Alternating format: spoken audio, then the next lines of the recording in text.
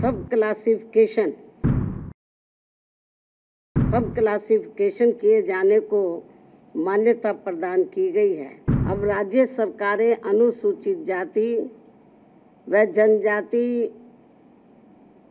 की सूची के भीतर आरक्षण के लिए उप वर्गीकरण अर्थात नई सूची बना सकेंगी, जिससे फिर अनेकों समस्याएँ उत्पन्न होंगी। पाँच न्यायाधीशों की संवैधानिक पीठ द्वारा ईवी चेन्नैया बनाम आंध्र प्रदेश राज्य में दिया गया था तो उसको पलट दिया है। अनुसूचित जातियों व अनुसूचित जनजातियों के भीतर उप वर्गीकरण नहीं किया जा सकता है। पहली अगस्त 2024 के इस निर्णय के बाद जहाँ जो पार्टी सत्ता में होगी, वह अपनी अपनी राजनीति के हिसाब से अदलती बदलती रहेगी। राज्य सरकारें अपने अपने वोट बैंक के लिए अपनी मनचाही जातियों को आरक्षण का अनुचित लाभ देने का प्रयास करेंगी। आज की प्रेस कॉन्फ्रेंस माननीय सुप्रीम कोर्ट के सात न्यायाधीशों की संविधानिक पीठ द्वारा अभी हाल ही में पहली अगस्त 2024 को देश में अनुसूचित जाति व अनुसूचित जनजाति के आरक्षण के संदर्भ में जो एक अति महत्वपूर्ण निर्णय दिया गया है तो उसके संबंध में अपनी पार्टी की प्रतिक्रिया ज़ाहिर करने के लिए बुलाई गई है, जिसमें सब क्लासिफिकेशन अर्थात सब क्लासिफिकेशन किए जाने को मान्यता प्रदान की गई है, जिसको लेकर और भी बहुत सी बातें कही गई हैं।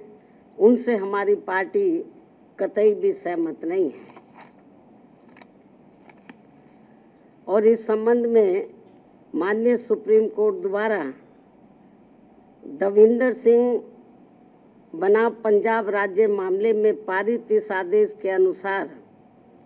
अब राज्य सरकारें अनुसूचित जाति व जनजाति की सूची के भीतर आरक्षण के लिए उप वर्गीकरण अर्थात नई सूची बना सकेंगी, जिससे फिर अनेकों समस्याएँ उत्पन्न होंगी। और अब माननीय सुप्रीम कोर्ट ने अपने अपने पहली अगस्त 2024 के इस निर्णय से 20 वर्ष पूर्व दिया गया निर्णय, जो सन 2004 में पाँच न्यायाधीशों की संवैधानिक पीठ द्वारा ईवी चेन्नैया बनाम आंध्र प्रदेश राज्य में दिया गया था तो उसको पलट दिया है। जिसमें अनुसूचित जातियों व अनुसूचित जनजातियों के भीतर किए जाने वाले वर्गीकरण को मान्यता देने से इनकार कर दिया गया था। और ये भी कहा गया था कि अनुसूचित जातियों व अनुसूचित जनजातियों के भीतर उप वर्गीकरण नहीं किया जा सकता है, क्योंकि वे एक ही समरूप अर्थात समान वर्ग में आते हैं।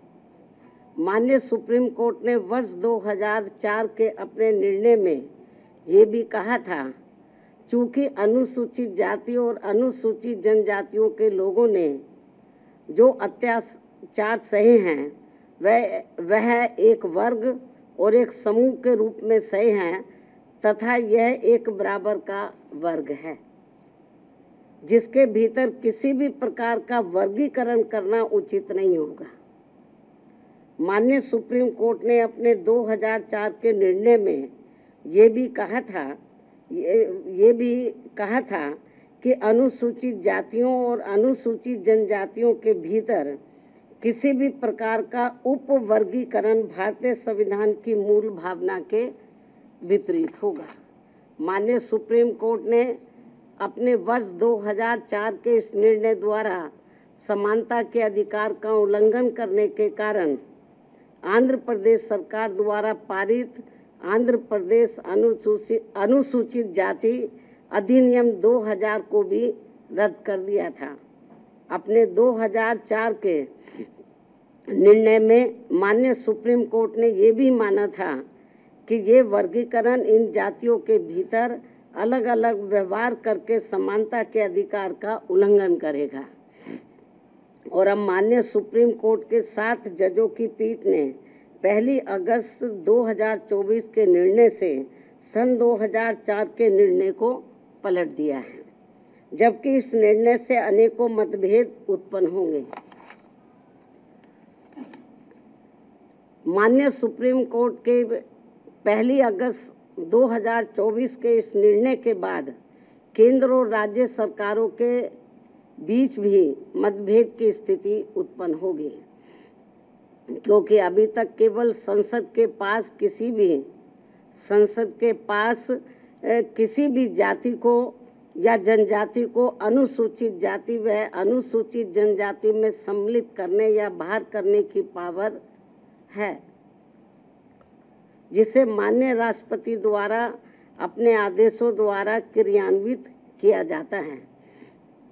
और जिसे बदलने का किसी भी राज्य सरकार को अधिकार नहीं है। परंतु अब पहली अगस्त 2024 के इस निर्णय के बाद, जहाँ जो पार्टी सत्ता में होगी, वह अपनी अपनी राजनीति के हिसाब से अदलती बदलती रहेगी, जिसके साथ साथ राज्य सरकारें अपने अपने वोट बैंक के लिए अपनी मनचाही जातियों को आरक्षण का अनुचित लाभ देने का प्रयास करेंगी। इस प्रकार से इस आदेश से ऐसी अनेकों समस्याएँ उत्पन्न होंगी, जिसके कारण एससी व एसटी को मिल रहा आरक्षण ये समाप्त हो जाएगा। एक प्रकार से एससी व एसटी को मिल रहा आरक्षण ही समाप्त हो जाएगा। और फिर इसका नतीजा ये होगा कि अनुसूचित जाति व जनजाति वर्ग अंत में आरक्षण से वंचित रह जाएगा। और उनके हिस्से का आरक्षण भी अंत में किसी न किसी रूप में सामान्य वर्ग को ही दे दिया जाएगा।